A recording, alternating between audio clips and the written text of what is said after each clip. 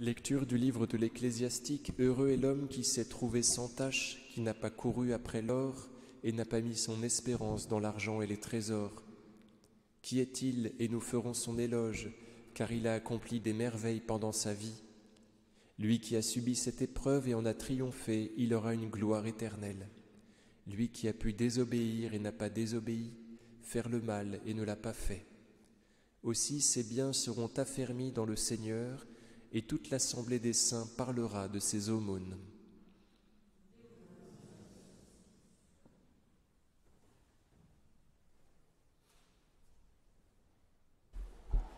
Au nom du Père et du Fils et du Saint-Esprit, ainsi soit-il. Chers amis, je me porte vers l'épître issu du livre de l'Ecclésiastique, où l'on dit d'un homme, qui est l'homme juste, qu'il a accompli des merveilles pendant sa vie, alors même qu'on vient de proclamer qu'il n'avait rien fait. À vrai dire, qu'il s'était gardé du péché. Vous voyez, il n'a pas couru après l'or, il s'est trouvé sans tâche, il n'a pas mis son argent dans son espérance dans l'argent et les trésors.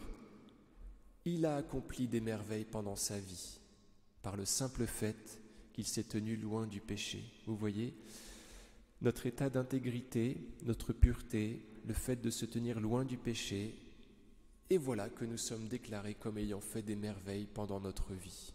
Parce que quand on se tient unis au Seigneur, le Seigneur nous agit, et comme malgré nous, nous faisons le bien. Et alors même que nous n'avons rien fait, en fait, nous avons fait des merveilles par le simple fait que nous nous sommes tenus près du Seigneur Jésus. Il aura une gloire éternelle, lui qui a pu désobéir et n'a pas désobéi. Vous voyez, on retourne dans le même schéma. Euh, de celui qui ne fait pas le mal. En fait, il fait le bien.